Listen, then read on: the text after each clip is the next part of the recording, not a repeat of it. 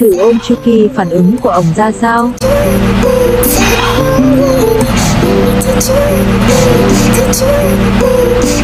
Chả yêu em.